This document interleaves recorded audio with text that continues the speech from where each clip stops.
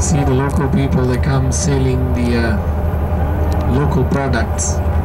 There is only one that grows his own onion. Uh, no, sorry, uh, garlic actually, on uh, on a rock, on rocks.